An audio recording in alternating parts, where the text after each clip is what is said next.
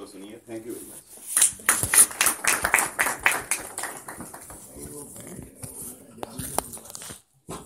पानी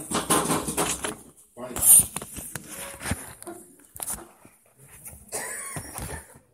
पता नहीं मेरी आवाज़ आप तक वहाँ पहुँच पाएगी या नहीं लेकिन सबको नमस्कार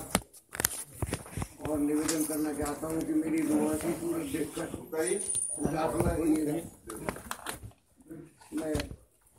आम हिंदुस्तानी हस्बैंड हूँ और अभी चार पाँच घंटे पहले घर से चला था तो आप समझ सकते हैं मेरी हालत क्या हो गई।